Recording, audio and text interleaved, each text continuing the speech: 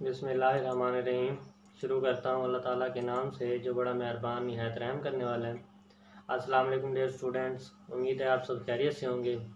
जैसा कि आप जानते हैं, हमारा जो है आठवां वीक जो है एट वीक स्टार्ट हो गया है ऑपरेटिंग सिस्टम का। तो आज जो है, हम अपना ऑपरेटिंग सिस्टम का चैप्टर नंबर एट जो है, वो डिस्कस करेंगे। उसमें हम देखते हैं कि आज के जो हमारे जो टॉपिक्स हैं, वो कौन कौन से हैं। तो मूव करते हैं। जैसा कि स्क्रीन पर आपको नज़र आ रहा है operating system chapter number eight, file system implementation last week हमने जो है फ़ाइल सिस्टम इंटरफेस पढ़ा था कि किस तरह से जो है फाइल्स क्रिएट की जाती हैं, उनकी डायरेक्टरीज क्रिएट की जाती हैं। आज का जो हमारा जो चैप्टर है, उसका नेम है फ़ाइल सिस्टम इम्प्लीमेंटेशन कि किस तरह से हमने फाइल्स जो है इम्प्लीमेंट करनी है। तो उसमें देखें, आज लेक्चर नंबर वन में हमारे कौन कौन से टॉपिक्स हैं।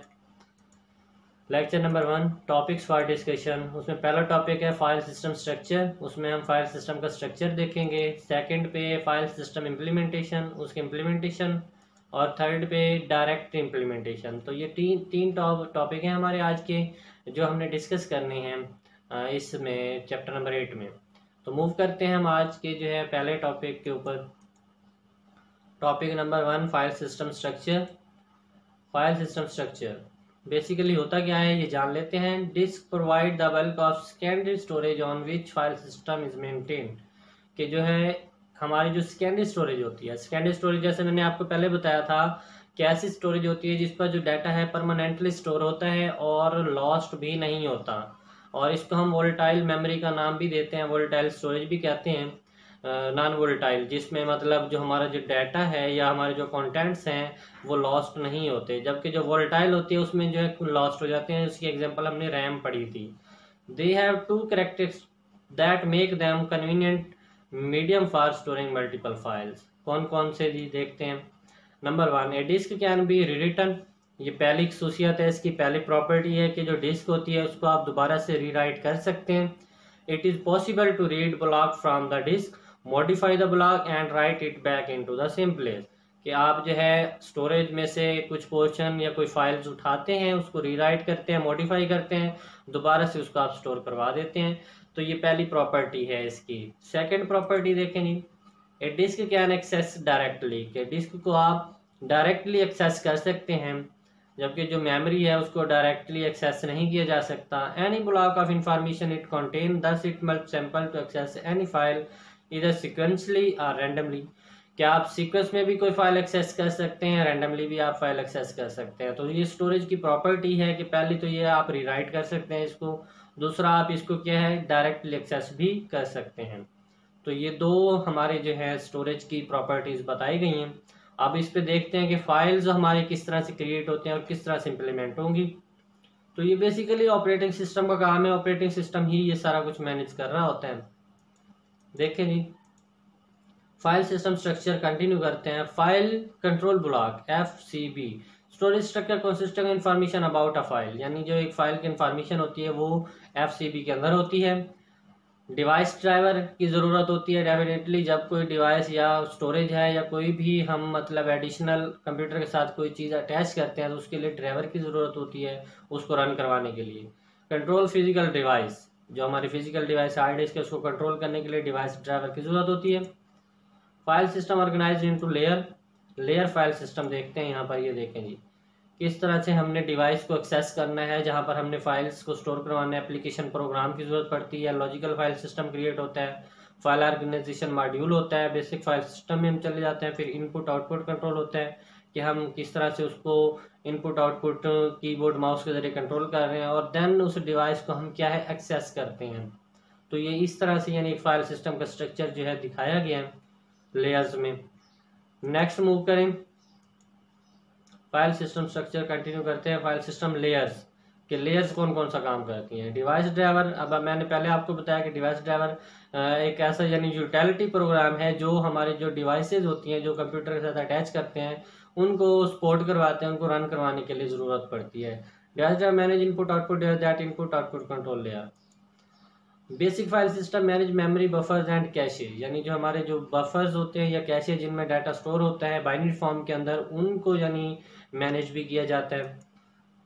फ़ाइल ऑर्गेनाइजेशन मॉड्यूल के अंदर क्या होता है? Understand file logical address physical blocks यानी जैसे हमने लास्ट मेमोरी में पढ़ा था कि हमारा जो फ़िज़िकल एड्रेस लॉजिकल एड्रेस होता है, फिर फ़िज़िकल एड्रेस में कन्वर्ट किया जाता है।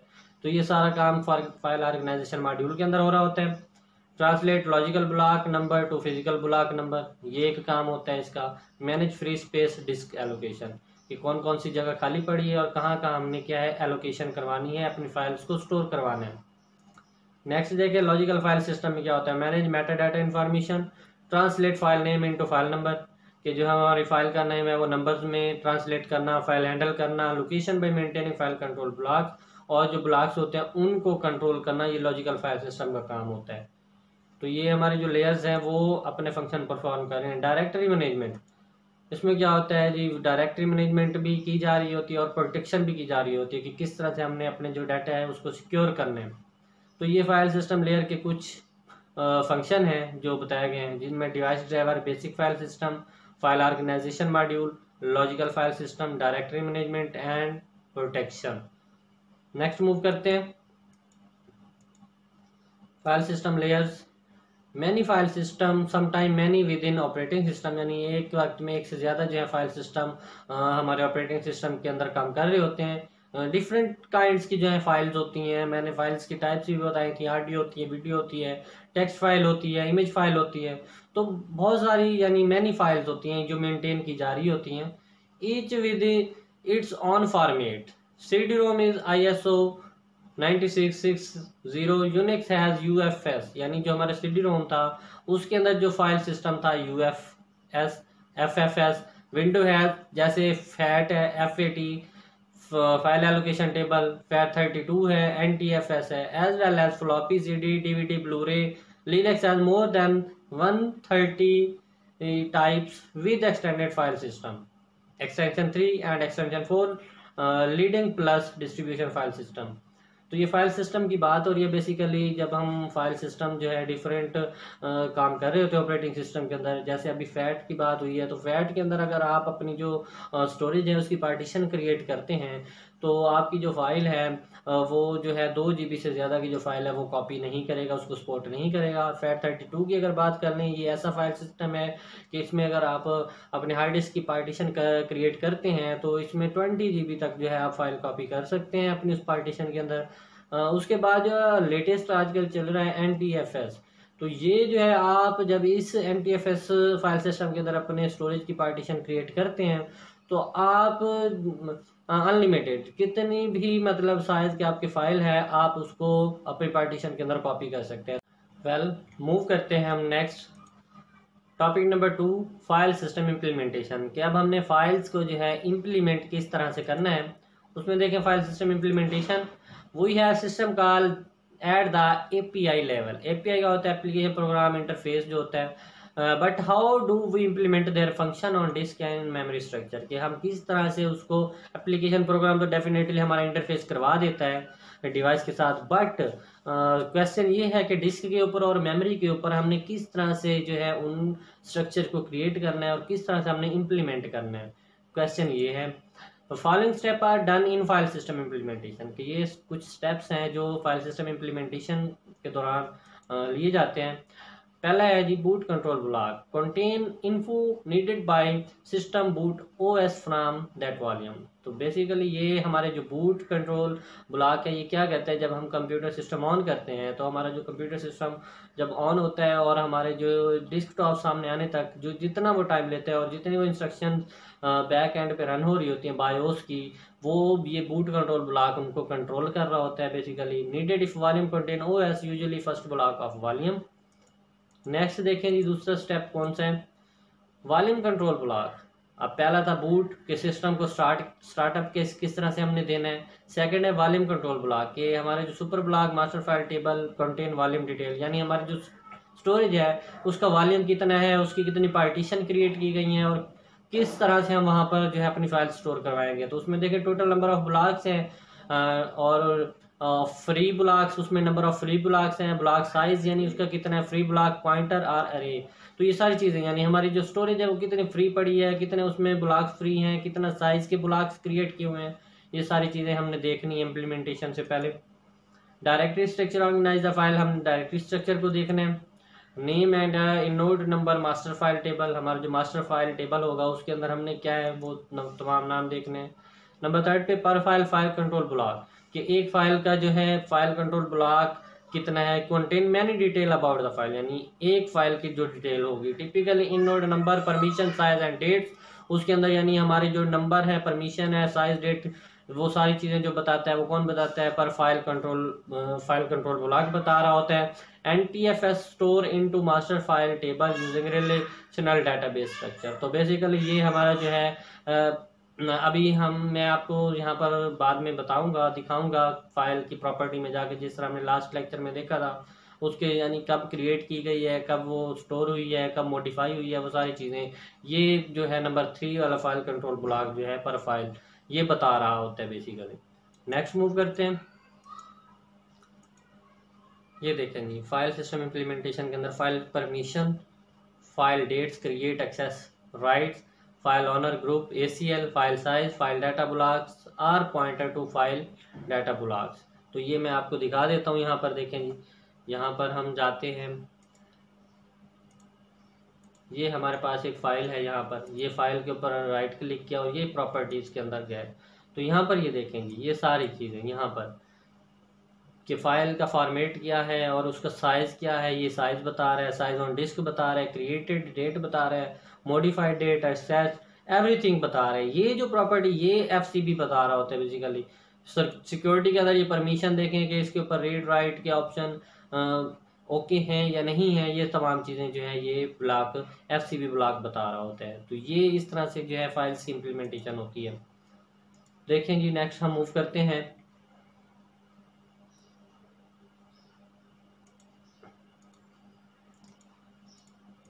नेक्स्ट देखते हैं हमारा जो है in memory file system structure के मेमोरी के अंदर जो है फ़ाइल सिस्टम का स्ट्रक्चर किस तरह से क्रिएट किया जाता है।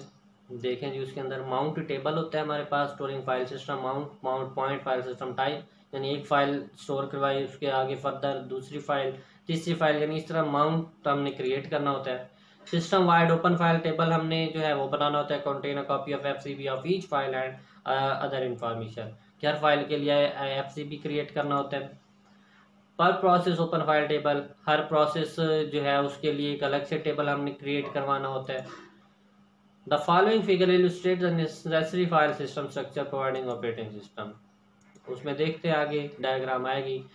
उसमें opening file reading a file plus buffer hold data blocks secondary storage open return file handle for subsequent use data from read eventually copied specified process memory address तो देखते हैं जी। ये देखें जी। ये डायग्राम बता रही है कि सबसे पहले आप open file file name open करेंगे डायरेक्टरी स्ट्रक्चर में जाएगा, उसके डायरेक्टरी जहाँ पर वो स्टोर की गई है, वहाँ से एक्सेस किया जाएगा। वहाँ से फिर ये देखें जी फर्दर जो उसकी डायरेक्टरी सब डायरेक्टरीज होंगी, उसके साथ उसका लिंक है फायर कंट्रोल ब्लॉक के साथ है। तो यहाँ पर मोडिफिकेशन होती है फ़ाइल रीड होती है राइट होती है, उसके बाद दोबारा से स्टोर करवा दी जाती है। तो ये पहली डायग्राम में ये यूज़र स्पेस है कर्नल मेमोरी और ये सेकेंडरी स्टोरेज जिस पर बेसिकली वो स्टोर है। सेकंड में देखिए जी यूज़र स्पेस रीड रीड की ऑप्शन है। उसके बाद यहाँ इंडेक्स जहाँ पर जो टेबल बना हुआ होगा, वो उस पर प्रोसेस ओपन फ़ाइल टेबल में से उसको ओपन करवाएगा। System wide open file table और फिर उसकी डायरेक्टली जो बेसिकली जहाँ सेकेंडरी स्टोरेज के ऊपर स्टोर है, वो ब्लॉक्स उनको फैच करके उसके अंदर मॉडिफिकेशन की जाएगी और फिर दोबारा से वहाँ स्टोर करवा दी जाएगी। तो ये इस तरह से ये प्रोसेस हो रहा होता है फ़ाइल सिस्टम इम्प्लीमेंटेशन के अंदर। तो ये कुछ स्टेप्स हैं in memory file system structure next देखें जी। वेल मूव करते हैं हम नेक्स्ट नेक्स्ट जी topic number three direct implementation है।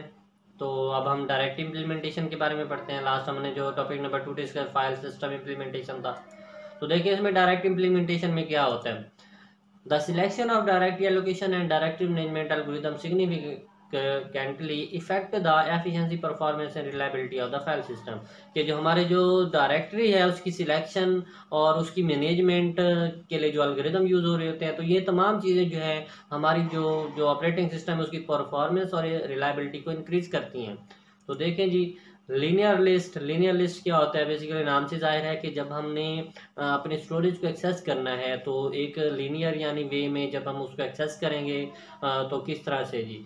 Of file name with pointer to be data यानी हमारा जो पॉइंटर है वो डाटा के साथ लिंक होगा। Simple to program time consuming to execute ये इसका डिसएडवांटेज है। लीनियर सर्च टाइम इसमें ज़्यादा होता है। Count could keep order alphabetically why linked list to be be positivity कि पहले तो हमें अल्फ़ाबेटिकली जो है यहाँ पर लिस्ट क्रिएट करनी पड़ेगी तमाम प्रोसेसेस की। फिर वो तमाम प्रोसेसेस जो हमारे हैं, वो एक लीनियर वे में, एक सीक्वेंस में हमारे जो हैं, वो एक्सेस होंगे और वहाँ स्टोरेज से भी वो एक्सेस किए जाएँगे। तो इस तरह जो हमारा जो टाइम है, वो ज़्यादा कंज्यूम हो जाता है। तो इस तरह से हम देखते हैं कि फर्दर हमारे जो कौन सा अलग्रिदम है इम्प्लीमेंटेशन के लिए।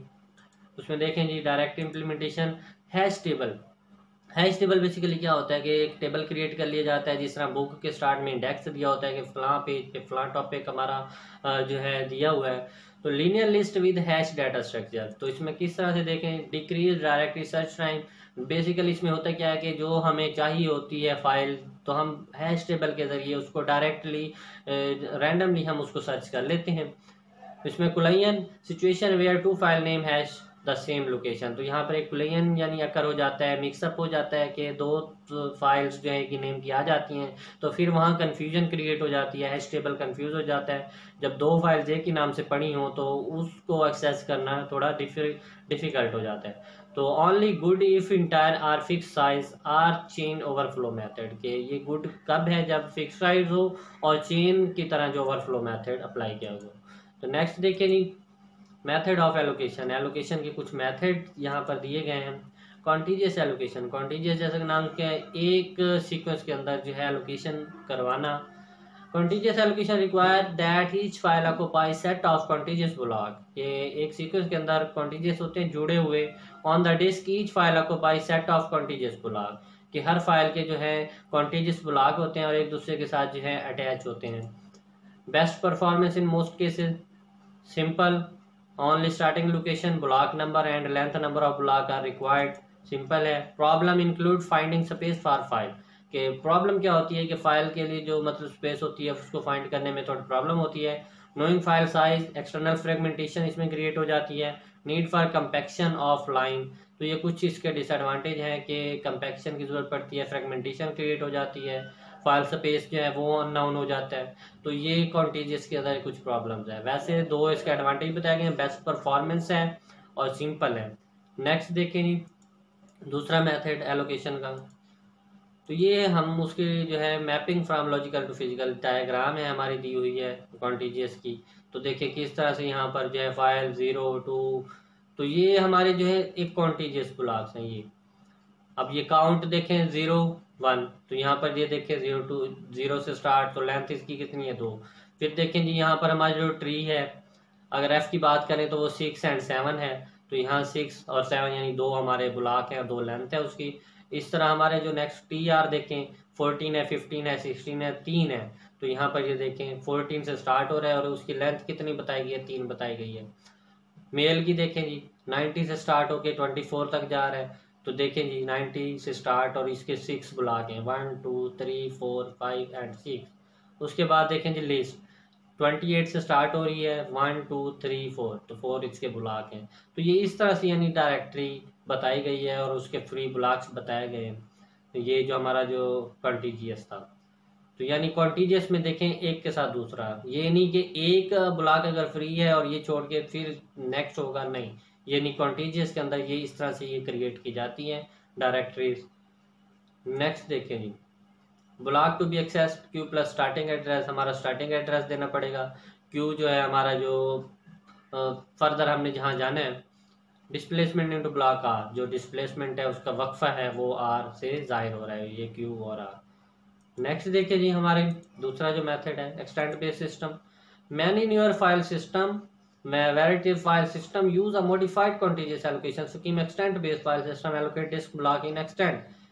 होता है कि काफ़ी हद तक आगे बढ़ा देना। देखिए जी an extent is a continuous block of disk कि ये भी एक दूसरे के साथ जुड़े होते हैं। Extent are allocated for file allocation file के लिए जो है एलोकेट करवाए जाते हैं। A file consist of one or more extent के एक या एक से ज़्यादा एक्सटेंट पर क्या है कंसिस्ट करता है। इसमें देखें जी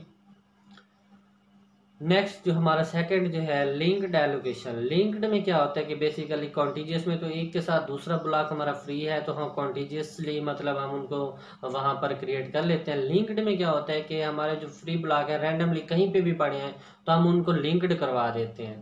तो देखें जी लिंक्ड में। Linked allocation solve all problem of contiguous allocation उसके अंदर जो हमारी प्रॉब्लम्स आ रही थी कॉन्टीजियस के अंदर तो वो यहाँ पर सॉल्व हो जाएँगी। लिंक्ड एलोकेशन उसको सॉल्व करवाएगा। देखें जी with linked allocation each file is linked list or disk block the disk block may be scattered anywhere on the disk कि स्कैटर्ड यानी रैंडमली कहीं पे भी हमारी जो फ्री स्पेस पड़ी है फ्री ब्लॉक्स पड़े हैं, उन तमाम ब्लॉक्स को जो है ये लिंक्ड हम करवा देंगे। लिंक्ड एलोकेशन जो अलगोरिदम होगा, वो लिंक्ड करवा देगा और वो कंसीडर होंगे कि ये एक ही ब्लॉक है, हमारा जो फ्री है। देखें जी file ends at nil pointer उसमें यानी जो हमारे जो एंड पॉइंट होगा, उससे फर्दर हम पॉइंटर आगे कंटिन्यू करेंगे। नो एक्सटर्नल फ्रेगमेंटेशन है इसमें। Each block contain pointer to next block एक ब्लॉक से दूसरे ब्लॉक तक हमारा पॉइंटर यूज़ हो रहा है। नो कंपेक्शन एक्सटर्नल फ्रेगमेंटेशन कुछ भी नहीं है, जो हमारे कॉन्टिजीज के अंदर थी। Free space management system called when new block needed कि जब भी हमें न्यू ब्लॉक की ज़रूरत होती है फ्री की तो हम फ़ाइल स्पेस मैनेजमेंट के ज़रिए उसको कॉल कर लेते हैं। Improve efficiency by clustering block into group कि जो हमारे स्कैटर्ड किए हुए ब्लॉक है, उनको हम इकट्ठा करके ग्रुप बना लेते हैं। Reliability can be a problem reliability यहाँ पर भी थोड़ी कम है, वो हम फर्दर देखेंगे कि क्यों कम है। Locating a block can take many input output and disk seeks well move करते हैं नेक्स्ट हमारा जो लिंक एलोकेशन है। पहला allocation table variation beginning of volume hash table indexed by block number. Much like linked list but faster on disk cacheable. Uh, उसके बाद देखें new block allocation simple ये देखें जी यहाँ पर हमारे पास आ गया। तो ये देखें जी फ्री ब्लॉक्स हमारे जो है यहाँ से देखें जी वन है वन के बाद देखें जी हमारा इलेवन है। इलेवन के बाद जी ये ये किस तरह से हमने उसको लिंक्ड करवाया है? जो जितने ब्लॉक्स हमारे फ्री हैं पॉइंटर के थ्रू हम उनको क्या करवा रहे हैं जी? हम उनको लिंक्ड करवा रहे हैं। तो ये स्टार्ट हमारा देखें जी कहाँ से हो रहा है हमारा। नाइन पॉइंट से स्टार्ट हो रहा है एंड हमारा कहाँ पे हो रहा है? ट्वेंटी फाइव पे हो रहा है। फ़ाइल जो है हमारे वो किस तरह से देखें जी? क्रिएट की गई है। यहाँ पर ये देखें जी। Test start block two seven तो ये कहाँ से कहाँ तक ये देखें जी सारा ये फैट है हमारा। जो फ़ाइल एलोकेशन टेबल है वो बता रहे हैं कितने ब्लॉक्स हमारे जो फ्री हैं। इंडेक्स एलोकेशन इंडेक्स में देखें जी इंडेक्स में बेसिकली हम एक इंडेक्स क्रिएट करेंगे।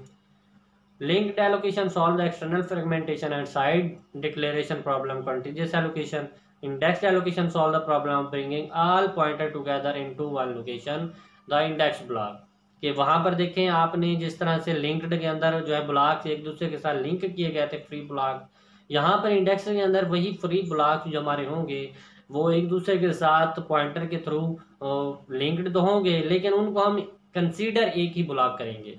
देखें जी each file has its own index block pointer of its data block देखें जी यहाँ पर डायग्राम में। ये देखें। ये हमारे जो ब्लॉक्स हैं, ये 90 से हमारे स्टार्ट हो रहे हैं और ये सारे पॉइंट हो रहे हैं टेन पे नाइन पे टू पे। कंसीडर कहाँ पे हो रहे हैं कि ये सारे जितने भी फ्री ब्लॉक्स हैं, ये सारे, ये। यहाँ पर देखा जा सकता है कि nine sixty one ten twenty five तो ये सारे जो हैं एक ही ब्लॉक यानी वो सारे जितने भी फ्री ब्लॉक हैं, उनको इकट्ठा करके एक ही ब्लॉक बना दिया गया है। तो ये हमारा इंडेक्स एलोकेशन है। तो जो हमारी फ्री स्पेस है, वो इस तरह ज़्यादा कंसीडर होगी और हम क्या इसके अंदर फाइल्स को इजीली स्टोर करवा सकते हैं। ये देखें जी, ये पॉइंटर के थ्रू जो फ्री ब्लॉक्स हैं, हमारे ये इंडेक्स टेबल है, उनको पॉइंट किया जा रहा है। इंडेक्स एलोकेशन में देखें जी कंटिन्यू करते हैं। नीड इंडेक्स टेबल हमें इंडेक्स टेबल की ज़रूरत होती है। रैंडम एक्सेस की ज़रूरत होती है।